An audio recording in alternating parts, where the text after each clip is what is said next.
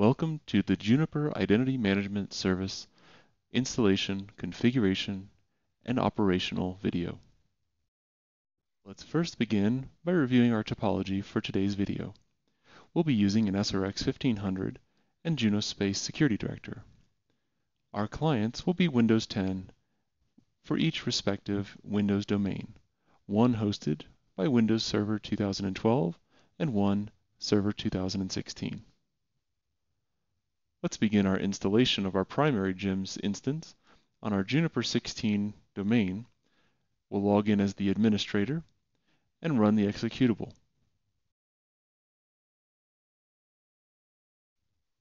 The JIMS service requires the Microsoft Visual C++ software package to be installed.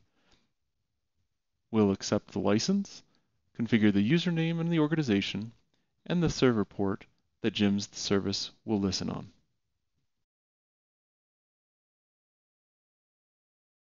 We'll launch the administrative interface, log in as our pre-configured JIMS 16 user, and then we'll begin our configuration. Our first event source can be a domain controller or an Exchange server. Our first event source will be the Juniper 16 domain controller. We'll give it the IP address, the JIMS 16 username and login, and click OK. Our next event source will be our Juniper 12 domain. For today's video, our JIMS service will run on each of our domain controllers, but the JIMS service can run on any of the Windows servers from 2008 R2 or later. Next, let's configure our informational sources. Again, one for our Juniper 16 domain and one for our Juniper 12 domain. Event sources provide JIMS with login and logout information. Our informational sources provide JIMS with our user, group, and device mapping.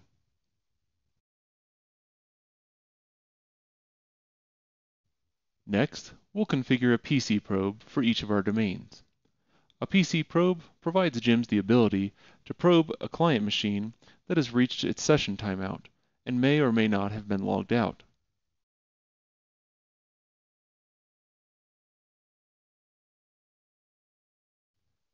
Next, we'll configure the SRX 1500 client in the JIMS interface to allow the SRX access to the JIMS service.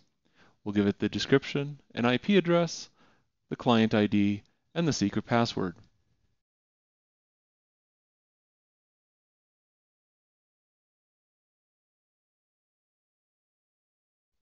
Our final configuration in the JIMS interface will be to add an IP filter for our user subnet.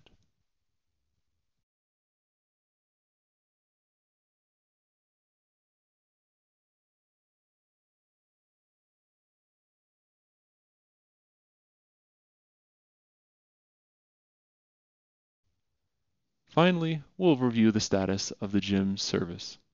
We'll see our summary, our system information, our SRX 1500 client status, which is currently inactive until we configure the SRX 1500, our two event sources that currently have polls completed, our informational sources, which we've had one request to our primary controller, and our PC probes. After wrapping up our JIMS configuration, it's time to move to Junos Space Security Director to add the configuration for our SRX 1500. First, we'll review our threat dashboard. Our point of primary interest is our blocked websites. Then, we'll move to our capacity dashboard and take a look at our top users and IP sources, which are IP addresses currently. Next, let's navigate to our configuration window and select our identity management under user firewall. Here, we'll add our identity management profile. We'll configure a name for our profile, configure the IP address of our primary JIMS instance that resides on our Juniper 16 domain controller, and then configure our secondary identity server on our Juniper 12 domain controller. We'll configure our auth entry timeout for 300 minutes, and then assign our SRX 1500 to this identity management profile.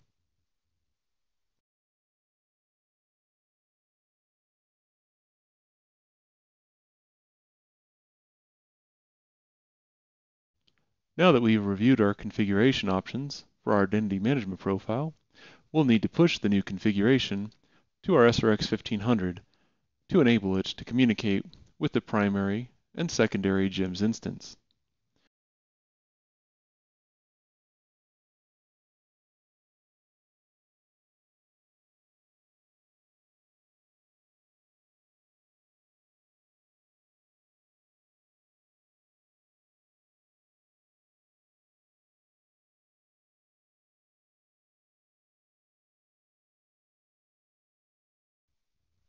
Excellent.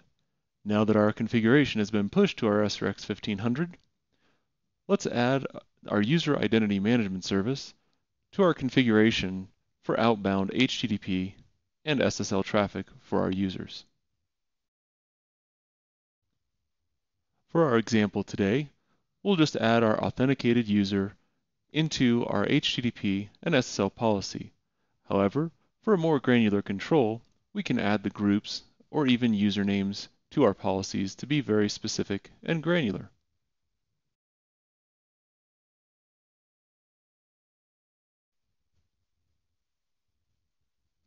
Now, let's push our new policy information to our SRX 1500.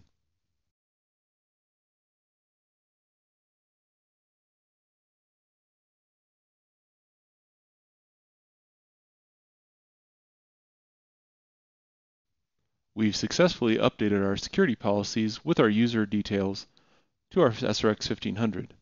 Now, let's log in to our Juniper 12 domain as an IT user and generate some web traffic.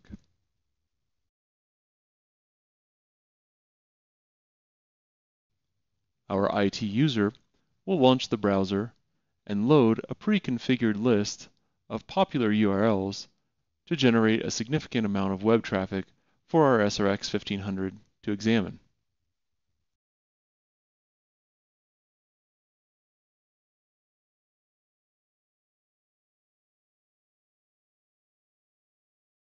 Next, let's log in as a user in our Juniper 16 domain. Once we log in, we'll repeat our previous process to launch the browser and load a large list of pre-configured URLs to generate a significant amount of web traffic in our Juniper 16 domain.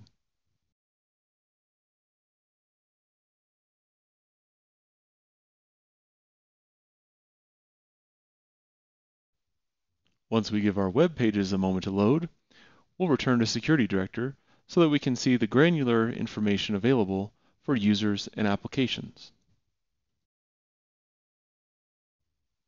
Let's log in as Security Director and review the details on our dashboard. First, we'll begin by reviewing our threat information, and we'll see that some URLs have been blocked down in our widget below.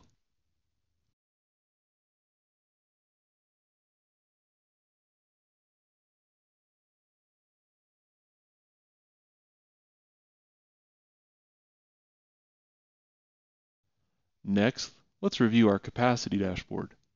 We'll scroll down a bit to see our applications by volume and by session. We'll see our client machines based on IP address according to their volume. We'll review our top users and IP by session and notice that our user information has been populated from our Active Directory servers.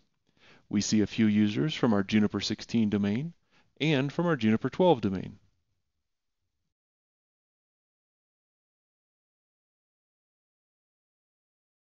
Now that we've reviewed our threat and capacity dashboards and seen our top volume and session-based user information, let's dive a little bit deeper.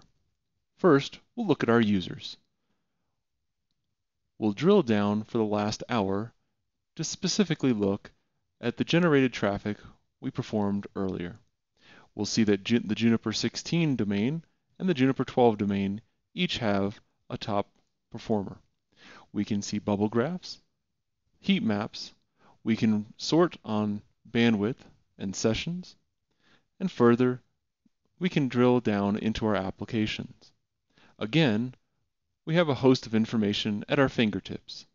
We'll drill down on our applications to review our traffic based on application.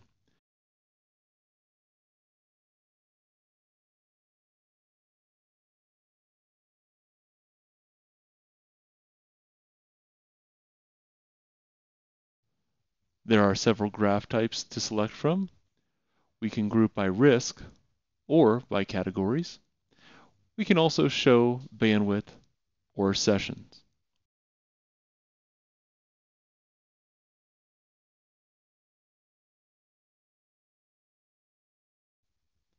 Thank you for joining me today for our overview of the Juniper Identity Management Service.